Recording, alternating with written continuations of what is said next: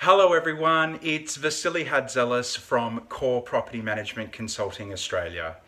I am so excited and humbled to be speaking at LPMA 2017 on the Gold Coast. The session that I'm presenting is Innovation plus Value equals Property Management 3.0. Now, what does this actually mean?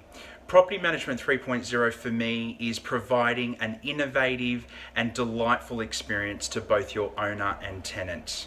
And I'm going to be sharing with you in my session the innovative ways and some tools that property managers and BDMs across the country and overseas are putting in place in their businesses right now to provide that Property Management 3.0 experience.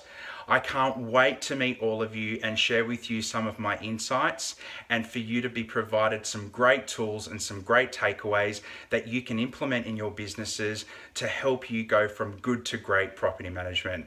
Until then, see you later.